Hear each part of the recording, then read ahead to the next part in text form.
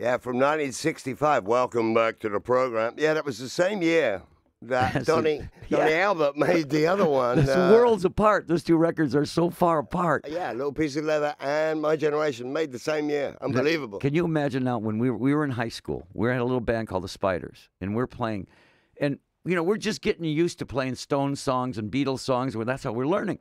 Yeah. And then we hear this on the radio, and we go, "What the hell was that?" you know, because even to this day, that's that record is advanced for what's going on. I mean, Yeah. it was just so.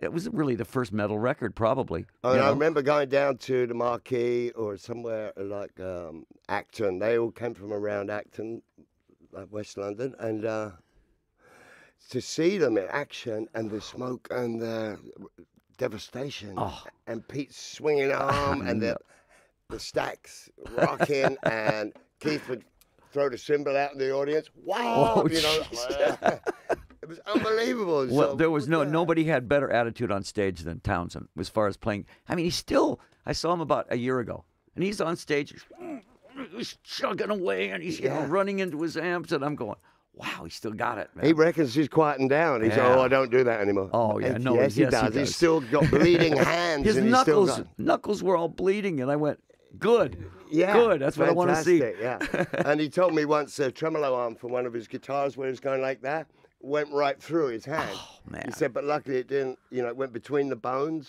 and he said he just like pulled it out. Okay, and carry on with the show. You know. That sounds like something in my show. It does, yeah. It- I remember you were covered in blood. Uh, was it chicken's blood or your blood? it was my blood. I put a I put a sword through my knee.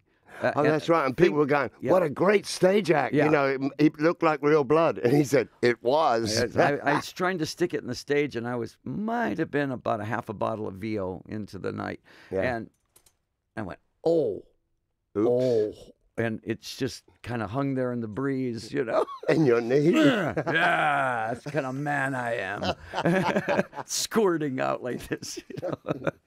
oh dear, main artery blues.